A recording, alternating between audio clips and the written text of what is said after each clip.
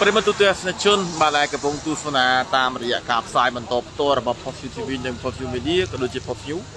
បាទសម្រាប់ហេតុការណ៍នៃគ្រោះថ្នាក់ចរាចរណ៍ដែលសម្រាប់សម្រួលការផ្សាយបន្តផ្ទាល់នេះដោយខ្ញុំបាទវណ្ណៈបាទសម្រាប់សម្រួលនៅក្នុងការផ្សាយបាទនៅក្នុងហេតុការណ៍គ្រោះថ្នាក់ចរាចរណ៍ដែលបានកើតឡើងនៅតាមបណ្ដោយផ្លូវសហព័ន្ធរុស្ស៊ីដែលស្ថិតនៅក្នុងសង្កាត់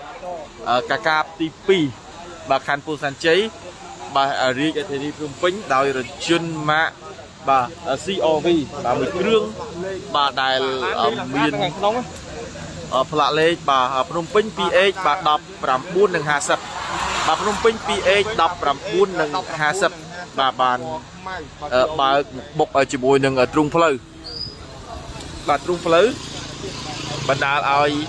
បាទទ្រុងផ្លូវនេះគឺបាក់ហៅថាខ្ទាតចេញមកពីកន្លង បាទចំនួនមួយកង់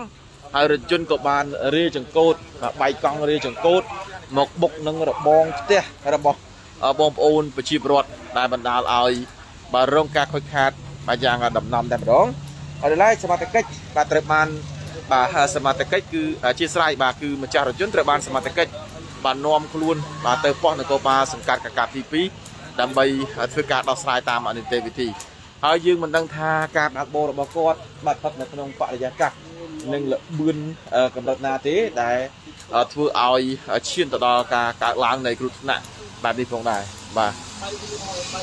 ហើយយើងមើលទៅលើស្ថានភាពជាក់ស្ដែងបាទលបឿននេះគឺអាចនឹងលឿនខ្លាំងហើយ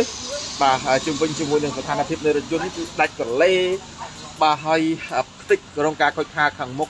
ហើយនឹងស្ពាផ្ទះរបស់បងប្អូនប្រជាពលរដ្ឋនេះគឺកពិតចូលគ្នាតែម្ដងបាទ ហើយផ្ទះនេះគឺដូចជាហាងចិនណាបងណាលបឿនស្តប់ហើយបងអើយអីទៀតបាទបាទទស្សនិកជនហើយ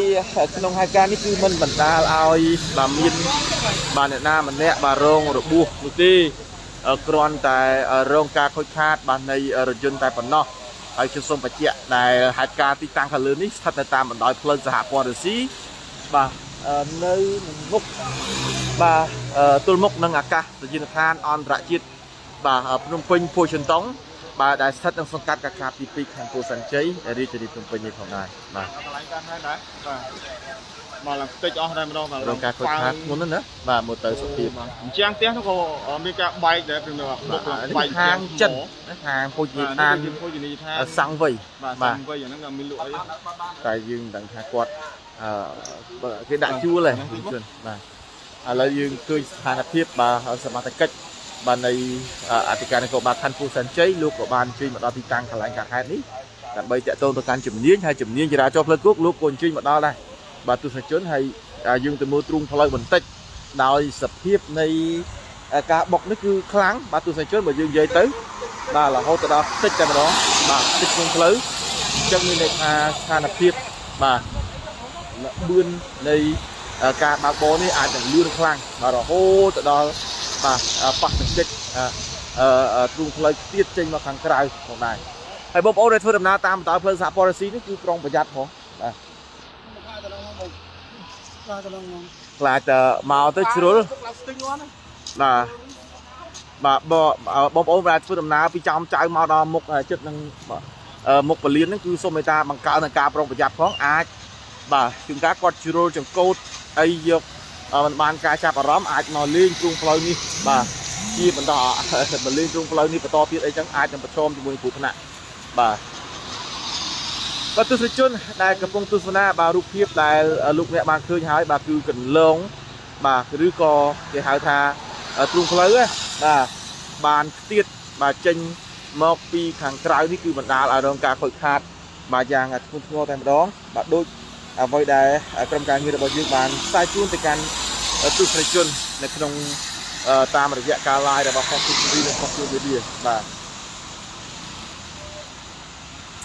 បាទសមត្ថកិច្ចនៃអធិការនគរបាលខណ្ឌពូសានជ័យបាទជំនាញចរាចរណ៍ផ្លូវគោកនឹងលោកក៏មានវត្តមាននៅទីតាំងកន្លែងកាត់ហេតុនេះដែរបាទដើម្បីធ្វើការវាស់វែងនិងយករថយន្តខាងលើនេះបាទទៅរក្សាទុកបាទរងចាំការដោះស្រាយបន្តតាមនីតិវិធីប្រកបទីផងដែរបាទ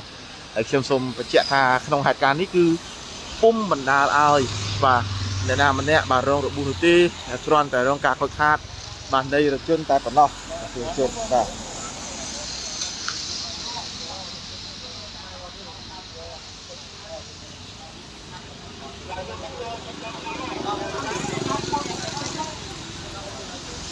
មែនតើនេះគឺជាទំហំនៃការខូចខាតដែរព្រមទូនជនបាទគឺធ្ងន់ធ្ងរខ្លាំងបាទជាវិញជាមួយការបើកបរយើងមិនដឹងថាល្បឿននៃការបើកបររបស់គាត់កម្រិតណាទេដែលធ្វើឲ្យឈានទៅដល់អង្គរឲ្យខ្លាចទៅជាហេតុការណ៍នៃគ្រោះថ្នាក់បែបនេះហើយរជនគឺខ្ទេចបាទរងការខូចខាតបាទទាំងស្រុងផ្នែកខាងមុខទាំងតែម្ដងហើយខ្ញុំសូមបញ្ជាក់ផ្លាកលេខនេះបន្តិចទៀតសិនហើយផ្លាកលេខនេះគឺភ្នំពេញបាទ 2H 19 និង50បាទ 2H 19និង50ដែលទីតាំងនេះគឺនៅតាមបណ្ដោយផ្លូវសហព័ន្ធរស៊ី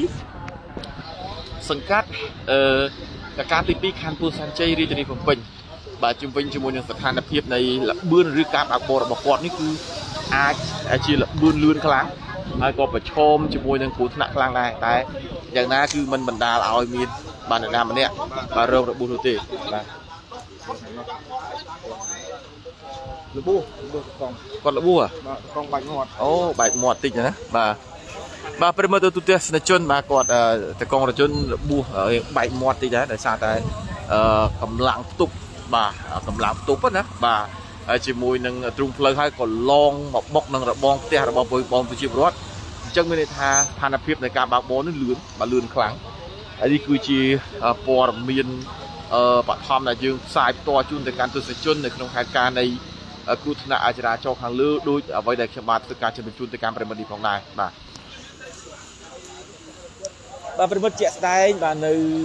ពេលដែលមេឃបាទកំពុងតែមានសភាពភ្លៀងខ្លាំងហើយទីតាំងនឹងតំបន់មួយចំនួនហើយជាពិសេសនៅលើដងផ្លូវអាចនឹងមានសភាពល្អិលបាទហ្វ្រាំងមិនស៊ីឬមួយក៏មានបញ្ហាយ៉ាងណាលោកអ្នកប្រចាំប្រចាំផងនៅពេលមេឃភ្លៀងនេះគឺយើងសង្កេតឃើញថាមានម៉ូតូនិងរថយន្តជាច្រើន ដែលគាត់ច្រើនតែបើកមកបុកឲ្យទ្រង់ផ្លូវដោយសភាពផ្លូវនេះគឺរអិលហើយឬមួយក៏ការបើកបរនេះយើងខ្វះការប្រុងប្រយ័ត្នក៏អាចប្រឈមជាមួយនឹងគ្រោះថ្នាក់ដែរអញ្ចឹងយ៉ាងណាក៏សូមឲ្យបងប្អូនរបស់យើងមេត្តាគិតពីសុខភាពខ្លួនឯងបើកបរបាទកុំលឿនពេកបាទអាចប្រឈមជាមួយនឹងគ្រោះថ្នាក់បាទគ្រប់ពេលវេលាតែម្ដងអរគុណណាស់ប្រិមត្តទូទស្សនិកជនដែលកំពុងទស្សនាបាទតាមរយៈការផ្សាយបន្តផ្ទាល់ បាទរបស់យើងផងដែរហើយក៏អរគុណបាទសម្រាប់លោកអ្នកដែលតែងតែយំគ្រប់គ្រងរបស់ Post TV នៅលើជា Post Media ដល់ខ្ញុំបាទវណ្ណៈបាទក្រុមការងារ Post View បាទក៏សូមបញ្ចប់ការផ្សាយត្រឹមនេះសិនហើយព័ត៌មានលម្អិតបន្ថែមយ៉ាងណា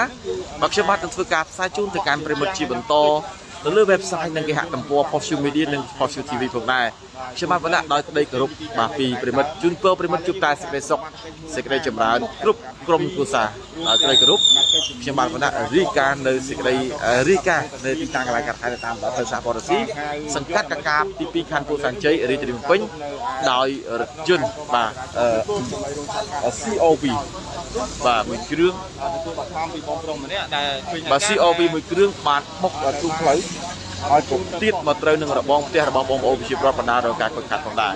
ឥឡូវនេះគឺសមត្ថកិច្ចជំនាញនៃចរាចរណ៍ បាទភ្លឹកគោកបាននៃអធិការនគរបាលខណ្ឌពោធិ៍សែនជ័យលោកក៏មានវត្តមានទីតាំងកន្លែងខាងផងដែរបាទតម្រាំតដាច់ចិត្តលាពីប្រិមិត្តនេះគឺយូរជើសូមអឺគោរពលាមែនតើហើយក៏អរគុណសម្រាប់ការទស្សនាតាមរយៈការផ្សាយបន្តផ្ទាល់នេះខ្ញុំបាទវណ្ណៈសម្រាប់សម្រួលនៅក្នុងកម្មវិធីក៏សូមបញ្ចប់ការផ្សាយត្រឹមហ្នឹងហើយព័ត៌មានលម្អិតបន្ថែមដល់ខ្ញុំបាទនឹងធ្វើការផ្សាយជូនទៅកាន់ប្រិមិត្តជាបន្តទៅលើ website និងគេហទំព័រ Post Media ក៏ដូចជា Post TV ផងដែរពីកម្មវិធីអរគុណសូមជម្រាបលា